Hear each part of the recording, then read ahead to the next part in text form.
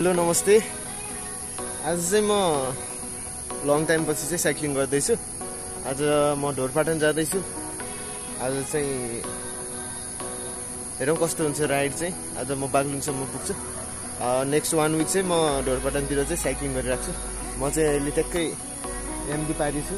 तिब्बतिन गुम्बा देख्नुहुन्छ त्यो। र अब चाहिँ म त्यो झोलुङ्गे पुल कटेर चाहिँ बागलुङ हाइवे हुँदै आज म बागलुङसम्म पुग्छु। यो चाहिँ धेरै पछिको राइड हो। हेरौँ कस्तो हुन्छ। टेक केयर बाई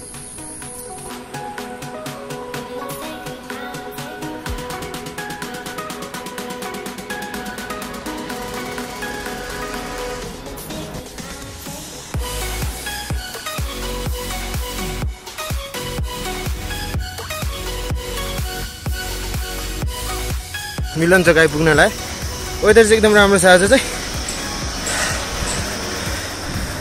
साइक्लिङ पनि रमाइलो भइरहेछ।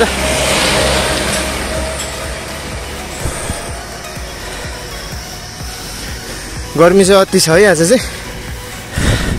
एकदम पसिना आइरहेछ।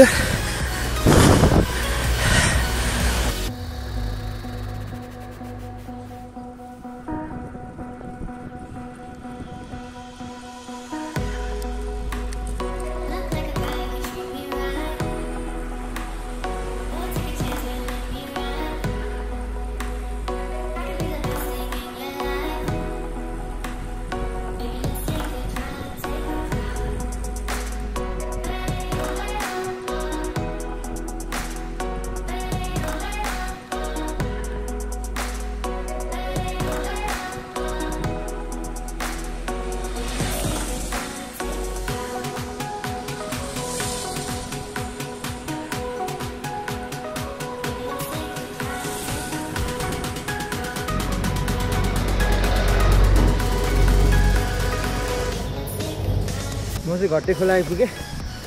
यता राइट गयो भने चाहिँ झम्पुस पुगिन्छ। म चाहिँ लेफ्ट लागेर नाउडाँडा पुग्छु अब। चाहिँ घट्टे खोला भइहाल्यो। घट्टे खोलाको पुल।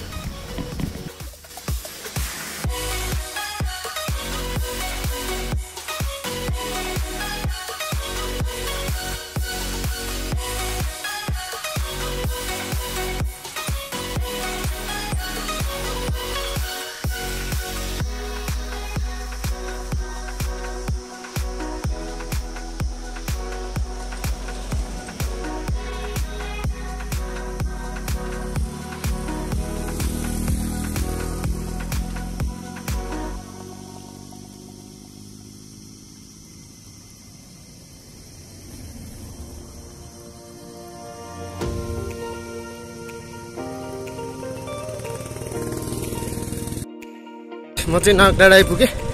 अब चाहिँ लुम्ले पुग्न चाहिँ टेन किलोमिटर छ। त्यसपछि ओह्रालो ओह्रालो छ बाटो।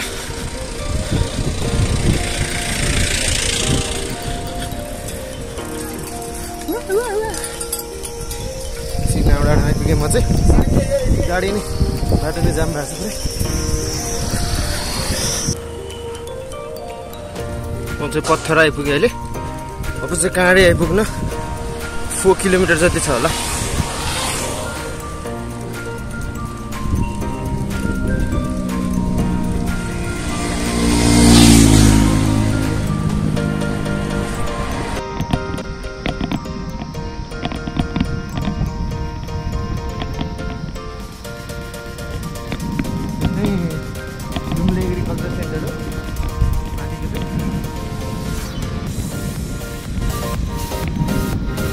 चाहिँ अहिले लुम्ले आइपुगेँ अब चाहिँ हाफ एन आवरमा चाहिँ नयाँ पुल पुग्छु।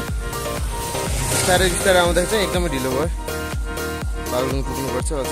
अझै फोर्टी किलोमिटर बाँकी छ। राइट बिस्तारै बिस्तारै बेलुका साँझसम्म चाहिँ पुगिन्छ जस्तो लाग्छ।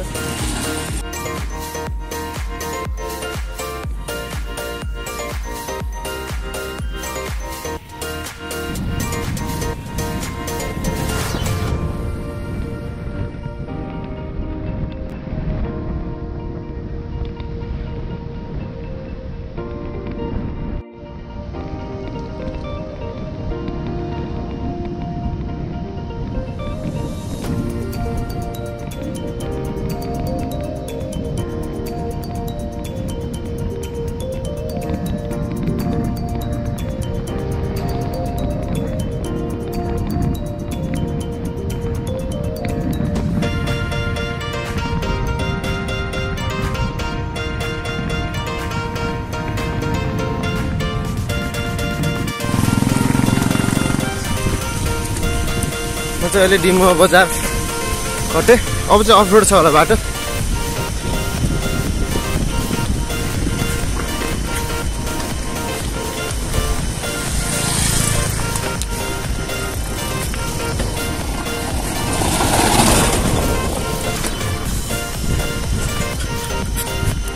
तिन बजिसक्यो क्या। आज चाहिँ अलिक ढिलो भइसकेको छ। यताको चाहिँ मोदी खोला एउटा पावर भइहाल्यो। अब चाहिँ म चाहिँ कुसमा लाग्छु? कुसमा बजार कटेर चाहिँ बाग्लुङ पुग्नु छ आजलाई। पानी पर्ला जस्तो भइसकेको छ। कालो भइसकेको छ। हेरौँ कस्तो हुन्छ।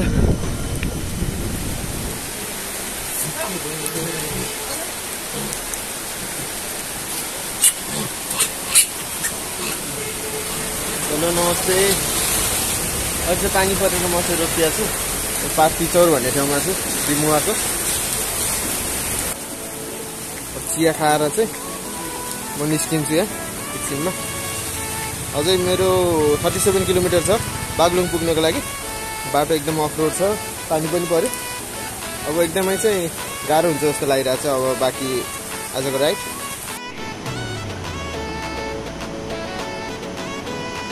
कुन चाहिँ गाउँ थाहा भएन।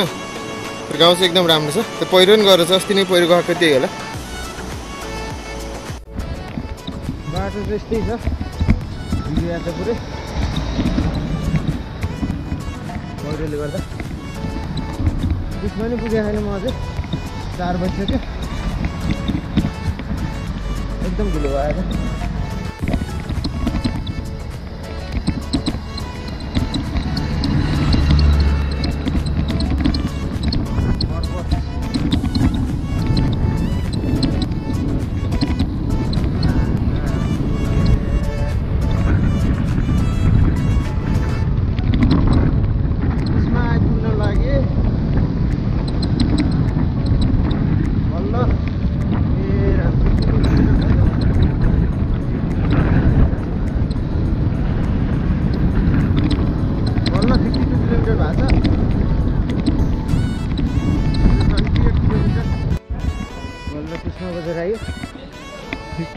फिफ्टी थ्री किलोमिटर छ। Pokhara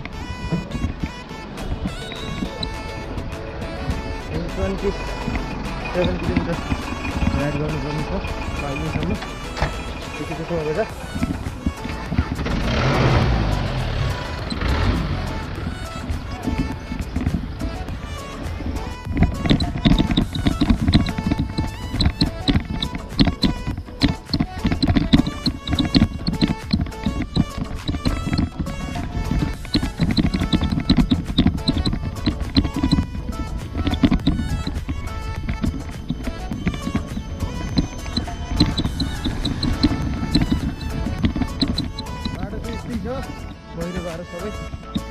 बाटो अफरोड पुरै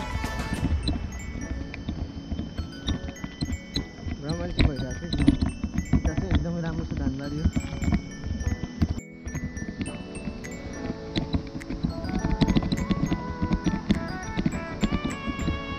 लास्ट मन्थमा गएको चाहिँ बाटो सबै